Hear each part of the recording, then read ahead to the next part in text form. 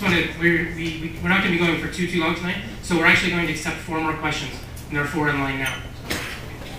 I'll start really quickly, just with, uh, thank you so much for coming here. I wanted to start with a question, and if you'll just indulge me very shortly, just um, wanted to uh, dialogue with you about what you were saying about the solution.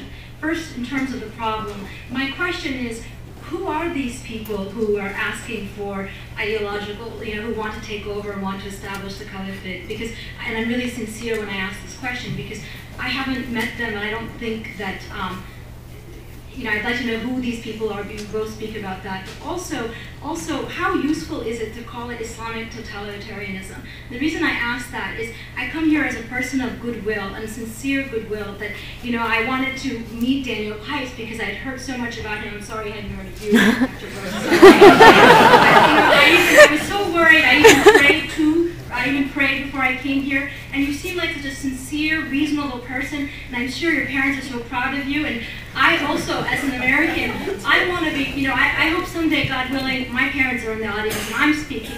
But my concern is, in terms of when you say the, my fear rather, is that sometimes I get the sense, not from your reasoned tone here, but some of the actions that I see, and I mean that sincerely, is that a good Muslim is someone who says Islam is bad.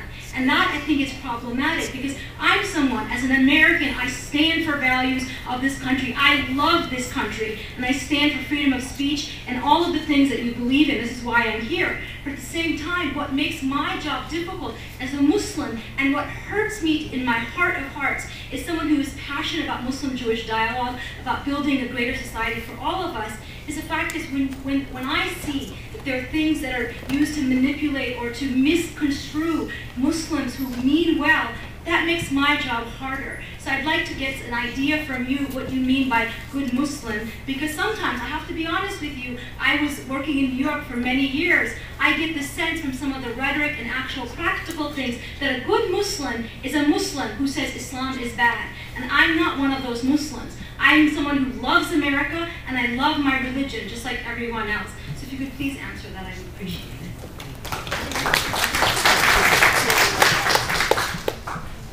I have never said that a good Muslim is a Muslim who says Islam is bad, and I would uh, repudiate that now. It, I would say, I'm not going to define what a good Muslim is, but let, let me take it from a different angle. I think the Muslim community can be divided into three.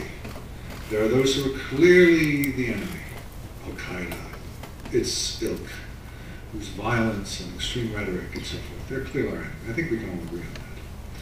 And then there are Muslims who are clearly on our side in this war. We're patriotic, who are integrated. It sounds like you are. You love being American, you love your religion, fine. But then there's a middle group, which is problematic. And that is a group that agrees with the goals of Al Qaeda, but doesn't use violence. What I've dubbed lawful Islamists, some call soft jihadists, there are many different terms, stealth jihadists, and the like. And this is where the debate is. This is the debate on the university campus, in the media, in government. Uh, this is my concern about infiltration and penetration is not with individuals who are going to blow things up. Yeah, we all agree on that as a problem, but with individuals whose ultimate goal is to bring about uh, the application of Islamic law, and who seek to do this in lawful, political, acceptable means. Someone raised the New York school. I've done some research and I found that there are a number of schools, public schools and charter schools, in other words, schools with taxpayer money, that are clear infringement on the separation of church and state, and that are advocating for Islam. Perhaps the most clear of all is in Minneapolis, the Tariq ibn Ziyad Academy, which has, from what one can tell, a, an Islamic tenor to it, uh, in terms of dress code and prayer rooms and after school activities and kitchen and schedule. It's, a, it's, it's not a public, it's not what we would normally consider to be a public school or charter school. It goes way beyond that. I see that as very, very important because I see that as infiltration of Islamic law through political means. And I am more worried, actually, about this infiltration of Islamism through political means than I am through uh, violence. It's hard for me to imagine a scenario by which the Islamists take over through violence. Violence can be an accessory to this political means. For example, after the 7-7 bombings in London, some groups of Islamists went to minister, ministerial offices and said, see, if you don't listen to us, this is the consequence. So there's a certain uh, utility to the, to the terrorism. But fundamentally, the, the lawful Islamists are working in, within the system acceptable way. And there is the great debate. Uh, there are those, you know my views now, but there are those who argue that Islamists, in fact, are on our side and are helpful and are a buffer against the violent ones. And this is where the great debate takes place, and this is where the acrimony takes place. And I can cite you within the last month a number of uh, disputes I've been in on this, concerning schools, concerning uh, national organizations, concerning individuals. This is where the great debate is. And I hope that we will come to a conclusion that, that just because you work within a system doesn't make you a friend. Uh, to give a, another analogy, the French Communist Party worked within the system. It didn't mean that we wanted it to uh, ascend to power. It didn't mean it was on our side in the Cold War. It worked within the system. It wasn't the Soviet Communist Party, but it wasn't our friend.